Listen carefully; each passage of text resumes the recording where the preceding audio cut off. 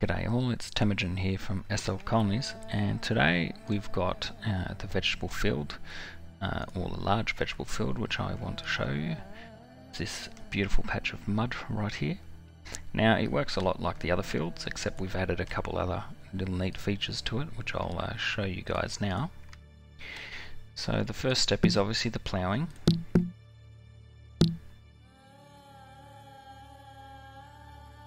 And with this field as you plough, um, as usual, the bottom layer will start to reveal itself, as you can see now. In this case, there'll be 12 rows of vegetables um, that will grow on this particular field. We'll just wait for the uh, working process to complete.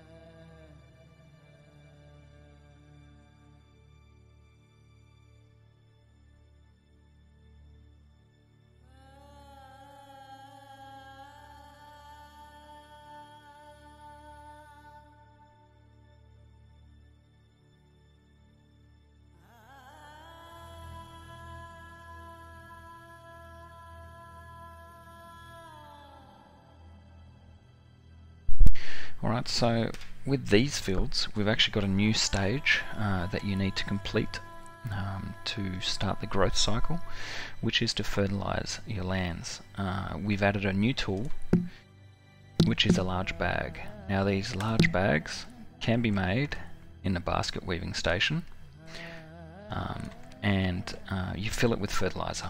Now the fertilizer is made at the compost bin. Um, you add pig dung to it, from the pigs. You can collect dung from it every hour.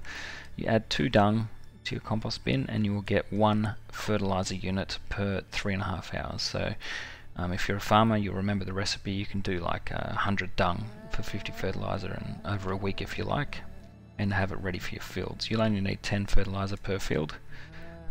So here we go, use yep, 10 fertilizer, fertilize, and I'll start the animation. It looks like the seeding animation, but it's a larger bag.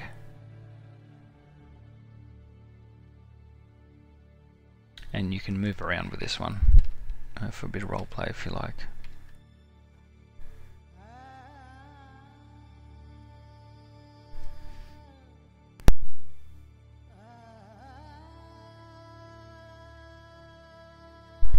And the next step is going to be seeds.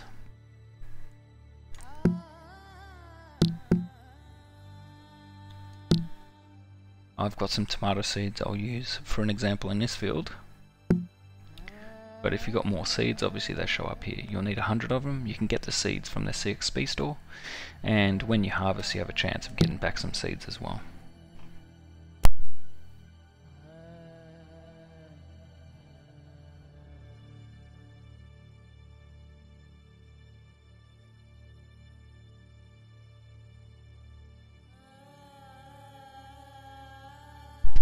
With this one you can move around as well if you like obviously don't move off the field or you'll uh, cancel that, that work and have to start again. The final stage is going to be to water, so you need a clay jar. Not the clay pot, the clay jar. And 10 water.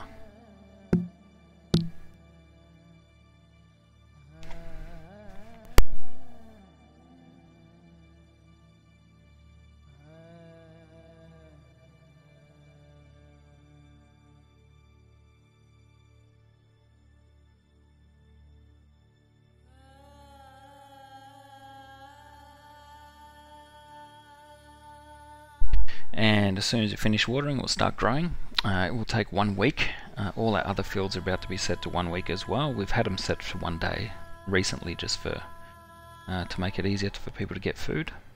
But for the purpose of this demonstration I've set it to 60 seconds so you can actually see the vegetables growing out of the ground. In this case tomatoes.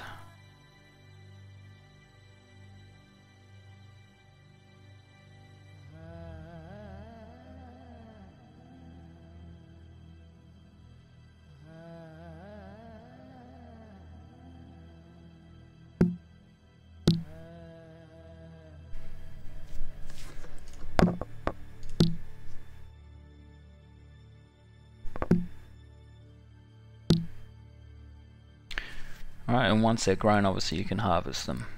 Um, you get 10 harvests. I'll do a harvest just to show you. It's still using the sickle, um, just for to make it simpler. I've also decreased the harvesting time for the purpose of this video. So this is ready to go.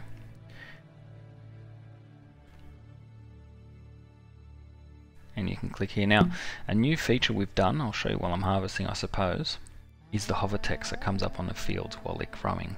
So while it's growing uh, and it takes a week, you'll see the hover text permanently on your field, right? Or even when you're working. So for example, while I'm working, you see this harvesting going on, right? As the owner of the field, you can left click and hold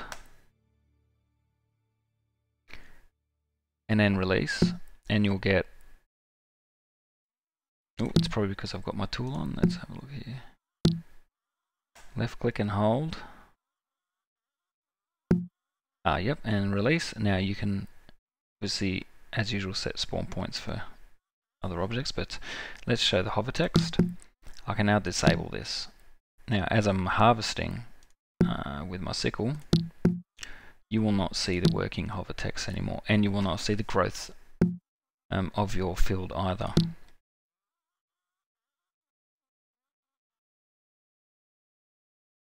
See if it still works while I've got the sickle. Should. No, it doesn't like it because it's detecting my tool. No, there it goes. Hover text on. Now, as with the other fields, um, you have a chance of getting uh, just one item, or you might get multiple tomatoes, plus you have a chance of also getting seeds. In this case, I've got five tomatoes. I didn't get any seeds, but anyway, um, that's pretty much it. I hope you guys enjoy, and I will see you guys next time.